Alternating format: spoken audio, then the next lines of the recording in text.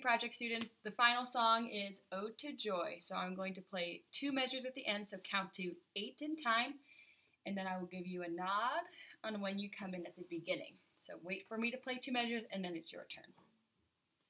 All right, here's Ode to Joy.